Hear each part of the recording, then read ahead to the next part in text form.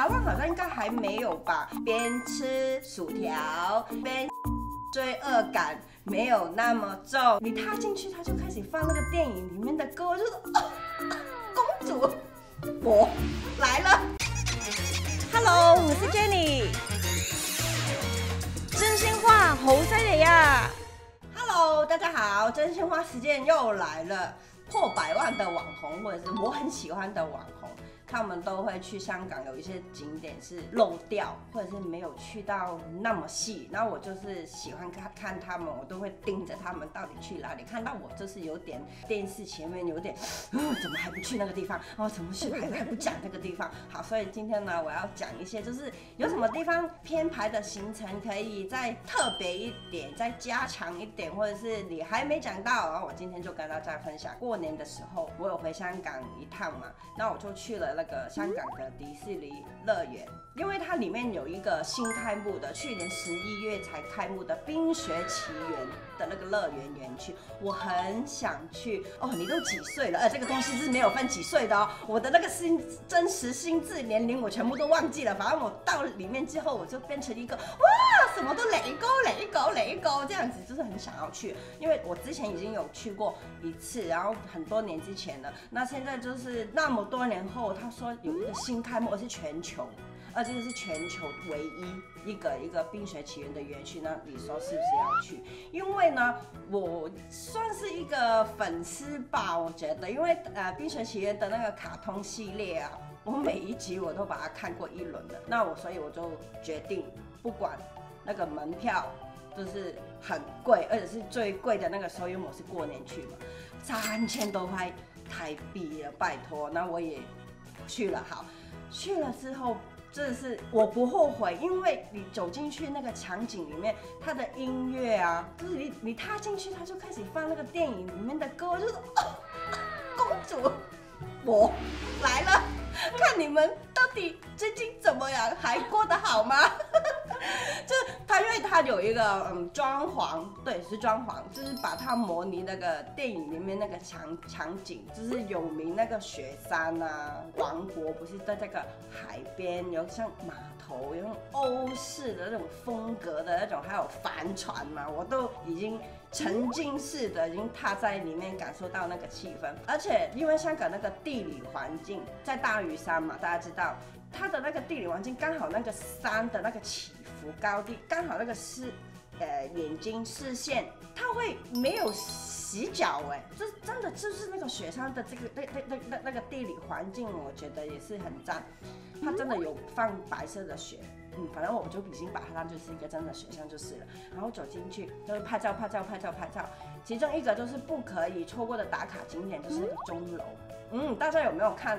啊，可能你们都忘记啊。我讲就是那个主角在那个钟楼里面唱歌，在那边调情啊，不是的，培养感情的，他都会迪士尼不是都会很很很会唱歌，唱一些迪士尼就哇听起来很感动，然后哇哇哇这种啊，一定要去看。为什么呢？因为他那个钟楼每个小时的正点啊，他都会呃有个个 Elsa 跟 Anna 他们会走出来，在前面转圈圈。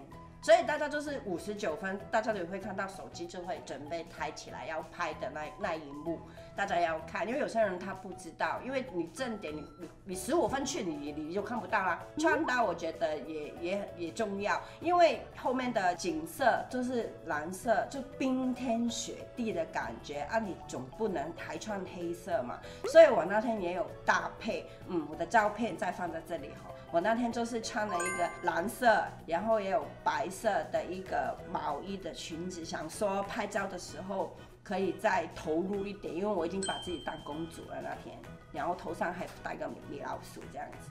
嗯，你表姐有没有傻眼？我表姐她没有傻眼，因为我已经跟她说我会这么做，然后你要不要跟我搭配是你家的事，因为我觉得我就是要来完完全全的投入在这个气氛里面，这样才有参与度啊。还有，如果你是长头发的话，我是建议你还可以绑两条辫子啊。我以为是要去染金发、染白色啊。这个这个就先不用。等下你要穿搭简单的话，我是建议蓝色、粉粉色系列了，或者是湖水蓝的那一种。嗯，我觉得我这是第三个 Jenny，就是 Elsa、Anna 还有 Jenny。第第二个妹妹，再来，我就是要介绍麦当劳，有没有搞错？我去香港，你带我去麦当劳，不是，它不是一般的麦当劳，它特别。首先，它在一个科学园区里面，在沙田的一个科学园区的一个间麦当劳。那它特别的地方就是餐厅里面有三张让你边骑脚踏车边帮你无线充电的机器。总共三台，台湾好像应该还没有吧？它就是吃垃圾食物啊，不是高热量的食物，让你边吃薯条，然后边骑脚踏车，让你的罪恶感没有那么重，顺便可以帮你的手机充电啊。可是你说到底我要骑多久，我的手机才会满？听说好像要骑两个小时到四个小时。哦 你才可以把你的行动电源或手机从零然后充到满，所以这是第一个噱头了。而且你也可以体验看看边吃吃薯条边做运动会不会吐啊？因为因为那个麦当劳我是看到过，我觉得蛮特别的，就可以大家去体验看看，感觉也蛮环保的、啊。就你边边运动然后边吃，然后整台车都是用那个回收塑塑料材质去做的一个脚踏车。对，去看跟我分享一下，如果边吃薯条边骑车会不会吐？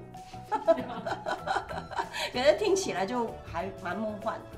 我在台湾经常都会被人问我说：“哎、j e n n y 我问你哦，香港哪里还有怀旧的那种传统的那种推车的酒楼啊？你可不可以推荐给我啊？”好，我有，我有一家我常去的。大家都知道，现在的饮茶都是点心纸去点菜啊，不然就是扫那个 QR code，我觉得很很没 feel 哎、就是很机器化。我想要，嗯，就是有人人情的感觉。所以呢，这家酒楼它没有随波续流，是这么说吗？它没有随波逐流，它没有跟随现在大家的那个现代的点餐方式，它还是保有它原本的，已经四十几年了，它都是这样点餐，到四十几年后它还是这样。那个名字叫做伦敦大酒楼。伦敦并不是在英国，它是在旺角的一间传统的饮茶的地方。这张酒楼为什么会吸引到我食神 Jenny 的一个大推了？是因为第一，它是传传统的风味，它那个阿姨姐姐他们都是手推车这样子喊烧麦、蝦餃、珍珠雞，这样他就喊喊他的车里面在卖什么东西。好，如果你要吃了嘛，你也是喊回去哦，我要一笼虾饺。